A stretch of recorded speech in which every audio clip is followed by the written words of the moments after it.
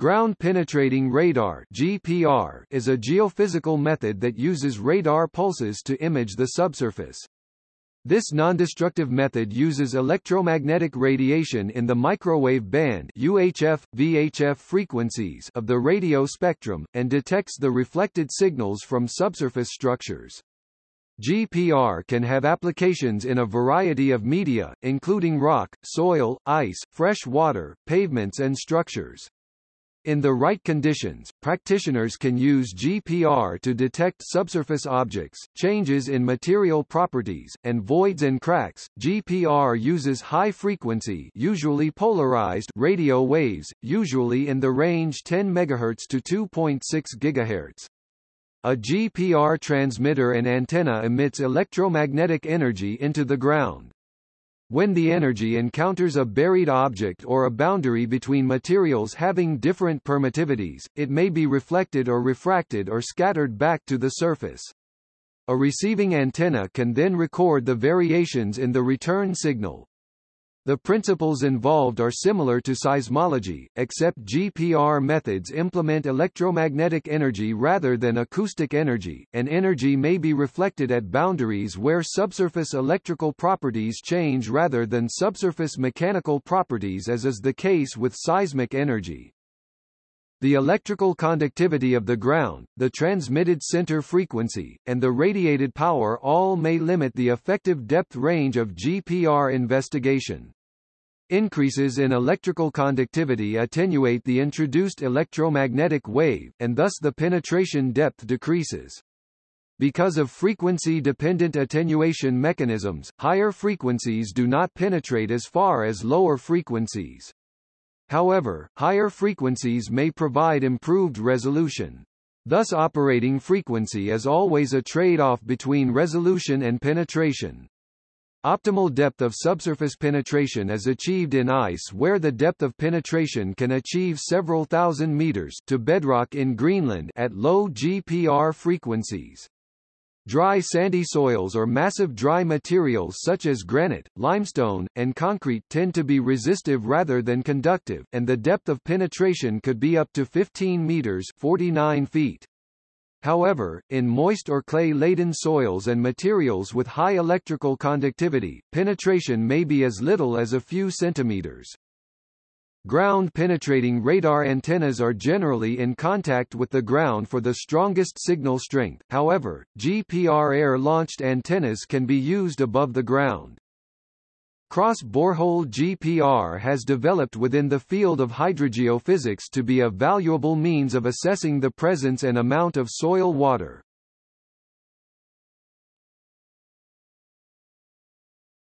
Topic: History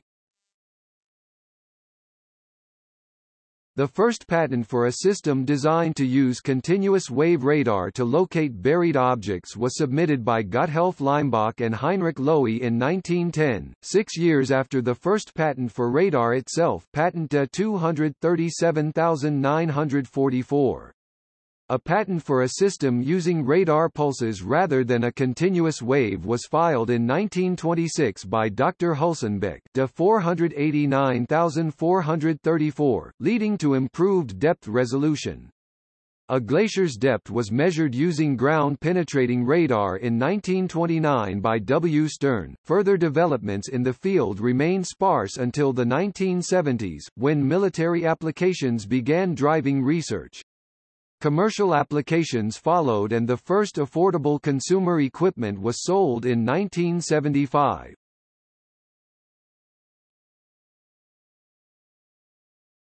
Topic: Applications. GPR has many applications in a number of fields. In the earth sciences it is used to study bedrock, soils, groundwater, and ice. It is of some utility in prospecting for gold nuggets and for diamonds in alluvial gravel beds, by finding natural traps in buried stream beds that have the potential for accumulating heavier particles. The Chinese lunar rover Yutu has a GPR on its underside to investigate the soil and crust of the Moon. Engineering applications include non-destructive testing (NDT) of structures and pavements, locating buried structures and utility lines, and studying soils and bedrock. In environmental remediation, GPR is used to define landfills, contaminant plumes, and other remediation sites, while in archaeology it is used for mapping archaeological features and cemeteries. GPR is used in law enforcement for locating clandestine graves and buried evidence. Military uses include detection of mines, unexploded ordnance, and tunnels. Borehole radars utilizing GPR are used to map the structures from a borehole in underground mining applications. Modern directional borehole radar systems are able to produce three-dimensional images from measurements in a single borehole. One of the other main applications for ground-penetrating radars is for locating underground utilities. Standard electromagnetic induction utility locating tools require utilities to be conductive. These tools are ineffective for locating plastic conduits or concrete storm and sanitary sewers. Since GPR detects variations in dielectric properties in the subsurface, it can be highly effective for locating non-conductive utilities. GPR was often used on the Channel 4 television program Time Team which used the technology to determine a suitable area for examination by means of excavations. In 1992 GPR was used to recover £150,000 in cash that kidnapper Michael Sams received as a ransom for an estate agent he had kidnapped after Sams buried the money in a field.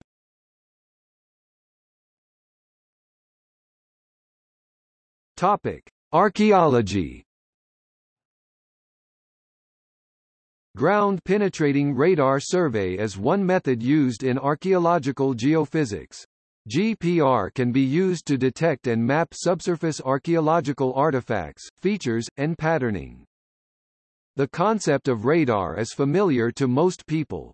With ground-penetrating radar, the radar signal, an electromagnetic pulse, is directed into the ground it is important to not get GPR surveys confused with electromagnetic surveys. A recent survey of an Iron Age Hillfort in Hampshire recently revealed the discrepancies between magnetometry, M and GPR surveys over the same area. Subsurface objects and stratigraphy layering will cause reflections that are picked up by a receiver. The travel time of the reflected signal indicates the depth.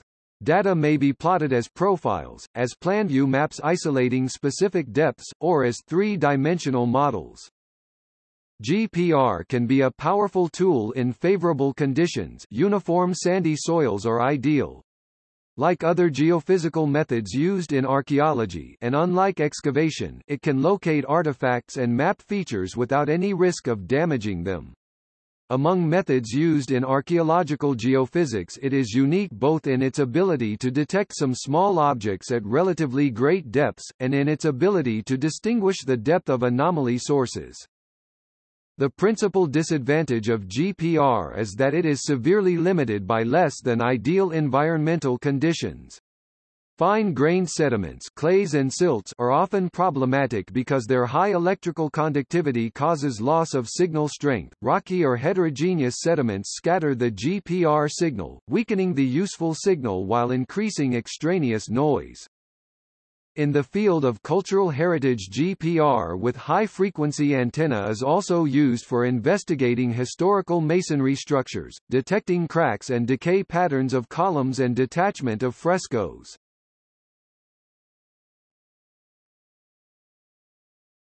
Topic: Military Military applications of ground-penetrating radar include detection of unexploded ordnance and detecting tunnels. In military applications and other common GPR applications, practitioners often use GPR in conjunction with other available geophysical techniques such as electrical resistivity and electromagnetic induction methods.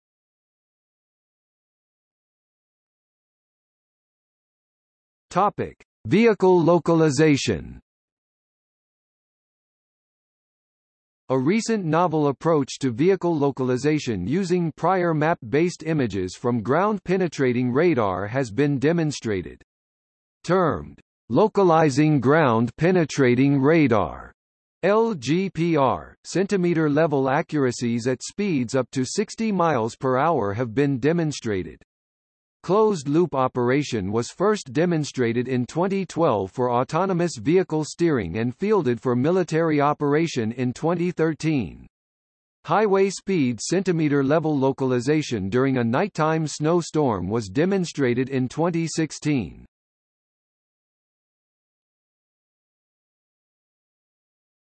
Topic: Three-dimensional imaging. Individual lines of GPR data represent a sectional profile view of the subsurface. Multiple lines of data systematically collected over an area may be used to construct three-dimensional or tomographic images. Data may be presented as three-dimensional blocks, or as horizontal or vertical slices. Horizontal slices known as depth slices or time slices are essentially planview maps isolating specific depths. Time slicing has become standard practice in archaeological applications, because horizontal patterning is often the most important indicator of cultural activities.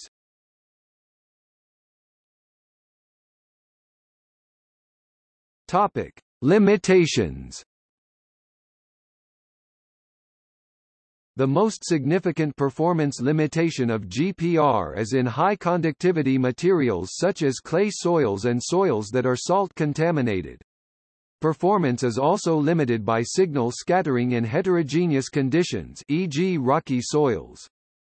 Other disadvantages of currently available GPR systems include Interpretation of radargrams is generally non-intuitive to the novice. Considerable expertise is necessary to effectively design, conduct, and interpret GPR surveys. Relatively high energy consumption can be problematic for extensive field surveys. Radar is sensitive to changes in material composition. Detecting changes requires movement. When looking through stationary items using surface-penetrating or ground-penetrating radar, the equipment needs to be moved in order for the radar to examine the specified area by looking for differences in material composition. While it can identify items such as pipes, voids, and soil, it cannot identify the specific materials, such as gold and precious gems. It can however, be useful in providing subsurface mapping of potential gem-bearing pockets, or VUGs.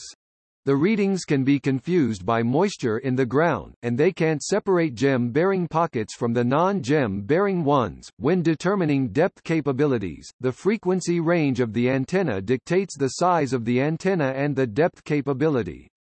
The grid spacing which is scanned is based on the size of the targets that need to be identified and the results required. Typical grid spacings can be 1 meter, 3 feet, 5 feet, 10 feet, 20 feet for ground surveys, and for walls and floors 1 inch 1 ft. The speed at which a radar signal travels is dependent upon the composition of the material being penetrated. The depth to a target is determined based on the amount of time it takes for the radar signal to reflect back to the unit's antenna. Radar signals travel at different velocities through different types of materials. It is possible to use the depth to a known object to determine a specific velocity and then calibrate the depth calculations.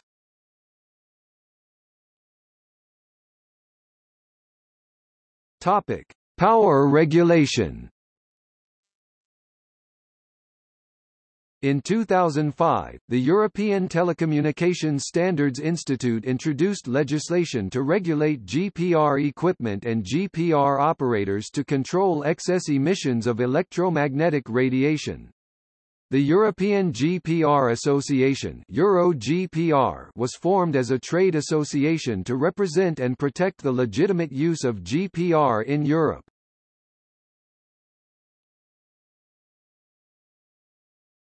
Topic: Similar technologies. Ground-penetrating radar uses a variety of technologies to generate the radar signal, these are impulse, stepped frequency, frequency-modulated continuous wave FMCW, and noise. Systems on the market in 2009 also use digital signal processing DSP to process the data during survey work rather than offline. A special kind of GPR uses unmodulated continuous wave signals. This holographic subsurface radar differs from other GPR types in that it records plan view subsurface holograms.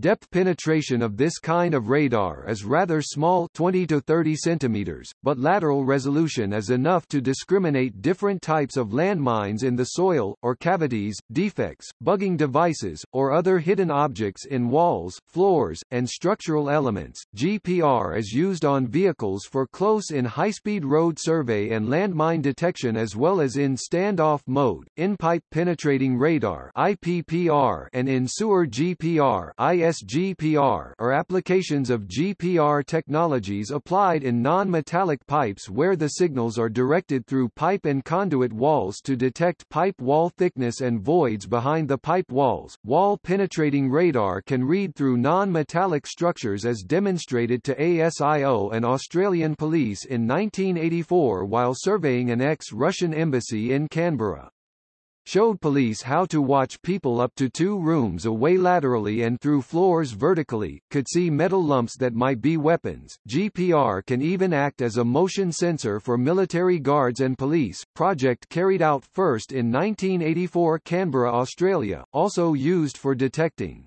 ghosts on TV show Air Disturbance in a Locked Room.